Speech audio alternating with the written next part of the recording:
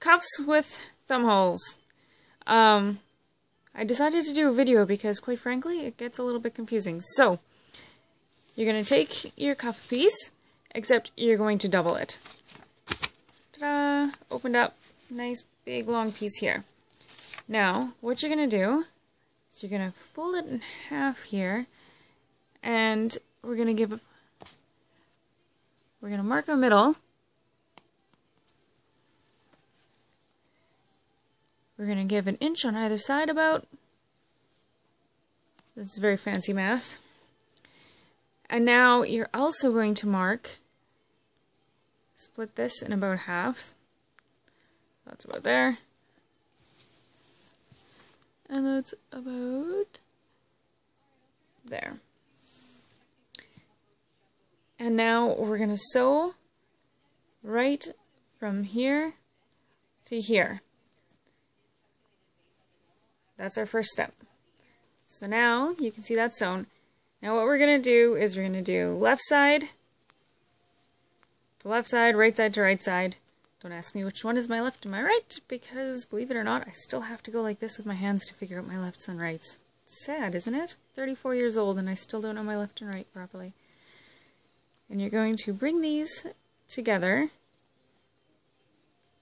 and you're going to sew from like exactly that line down to that line.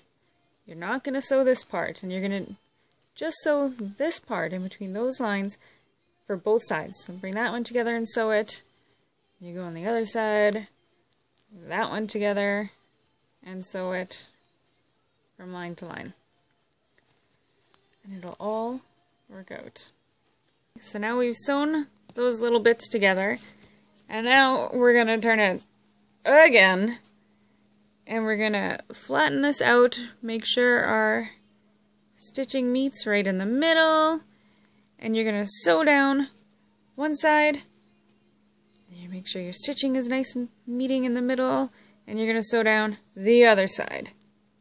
And this should, in theory, give us thumb cuffs.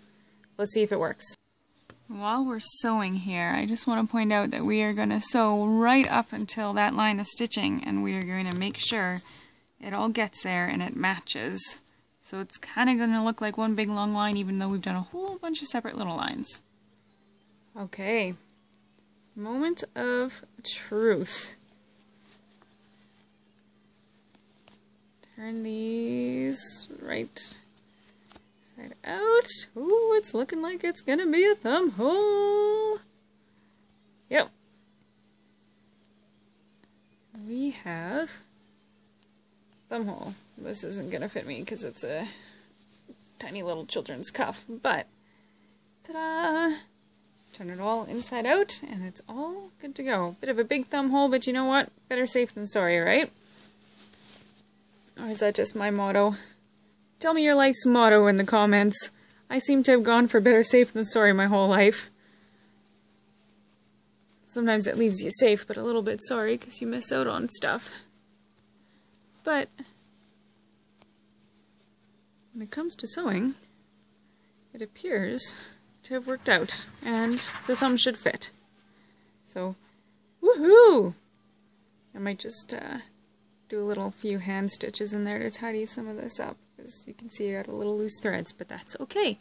And then you're just gonna stitch them onto that comfy cowl as per the directions. Just pretend it's a regular old cuff. So there we go. All ready.